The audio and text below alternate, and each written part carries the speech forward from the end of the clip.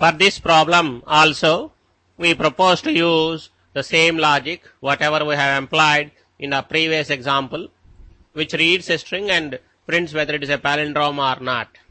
So that logic we propose to use here. Only the main conceptual difference is as follows. There we have compared the pairs, but here we propose to exchange the pairs. That is, first character and last character will be exchanged. Second character and last but one character will be exchanged and vice versa. This is carried out for n by 2 pairs. Thus, the string gets exchanged.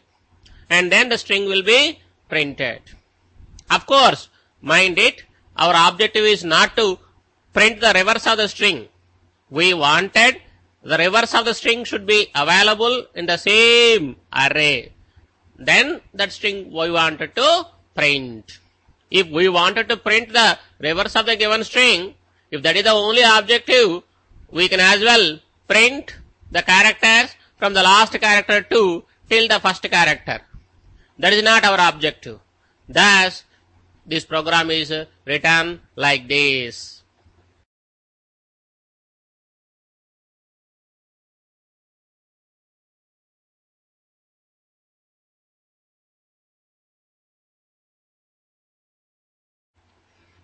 Character variables t and a string variable x and integer variables i and j are declared. A printf statement is written to ask the user to enter the string.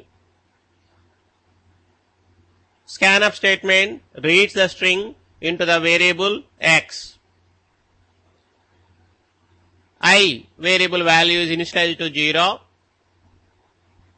j is set to the string length minus 1. That is, i will point to the first element of the string, j will point to the last element of the string.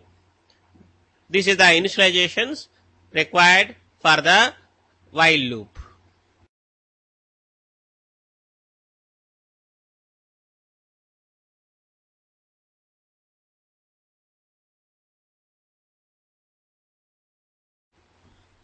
While loop is written such a way that its uh, condition statement becomes i less than j and inside i value will be incremented by 1 j value will be decremented by 1 this loop is exactly same as the one which we have used in the previous example.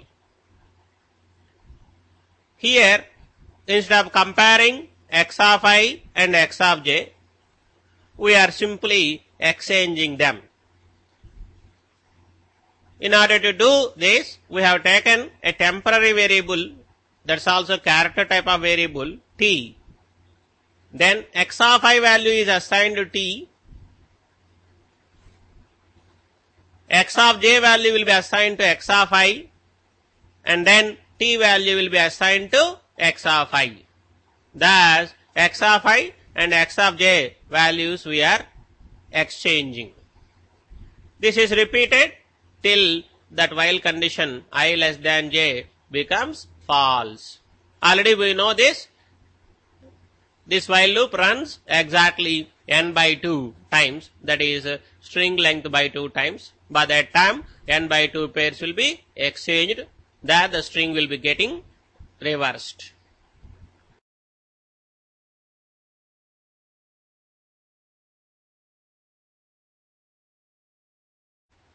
X value will be printed.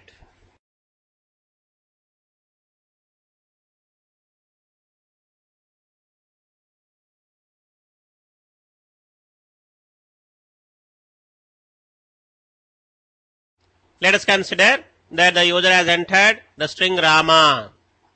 We will try to simulate the while loop with this string. i value will be initialized to 0. J value will be taken as string length minus 1. The length of the string Rama is 4, 4 minus 1, 3. Thus, j value is 3. I, is it less than j? That is 0. Is it less than 3? Yes. Thus, the loop is going to get executed once. x of i value is lowercase r. x of j value is lowercase a. Now, these two values should get exchanged. Thus, x of i value is assigned to t. Thus, t value becomes lowercase r. x of j value will be assigned to x of i. Thus, x of i value becomes lowercase a. t value will be assigned to x of j. Thus, x of j becomes lowercase r.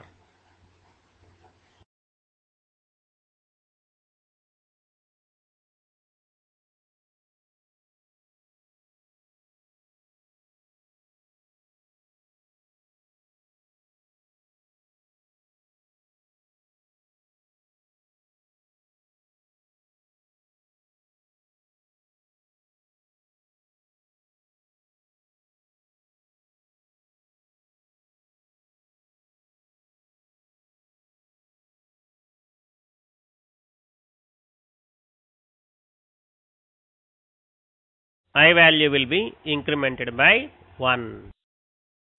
j value will be reduced by 1. Thus, j value becomes 2 now. i, is it less than j? That is 1. Is it less than 2? Yes. Thus, the while loop is going to get executed once more. Now, x of i is lowercase a x of j is lowercase m. They are supposed to get exchanged. Thus, as usual, x of i value is assigned to t. Thus, t becomes lowercase a. x of j value will be assigned to x of i. Thus, x of i becomes lowercase m. t value will be assigned to x of j. Thus, x of j becomes lowercase a.